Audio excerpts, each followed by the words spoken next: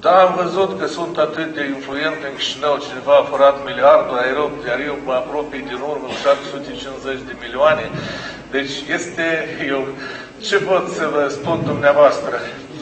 Deci, de obicei, rentabilitatea unei întreprinderi este în jur de 6, iar unele a noastre municipale 4%. Adică dacă compania respectivă transferă din beneficiul său tocmai 10%, deja este depășire destul de mare față de uh, acele fluxuri financiare care sunt la unul la mână. Doi, în această companie, pentru aceste activități, eu cel puțin ce am văzut, trebuie să fie aproximativ 1000 de angajați.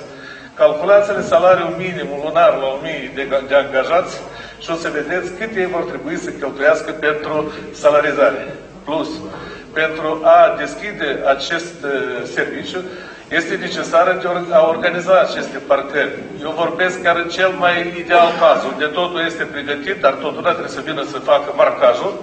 Marcaj nu pur și simplu cum îl facem noi de obicei, când noi e, folosim metoda că oricum se va șterge iarna sau drumul se va repara și atunci o faci cu materiale mai simple. Acolo trebuie să fie cu materiale plastice sau altceva, plus parcomatele care trebuie să fie instalate, plus softurile, plus, la urma urmei, impozitele întreprinderea respective, activând aici, în Republica Moldova, trebuie să plătească ca oricare întreprindere acele impozite.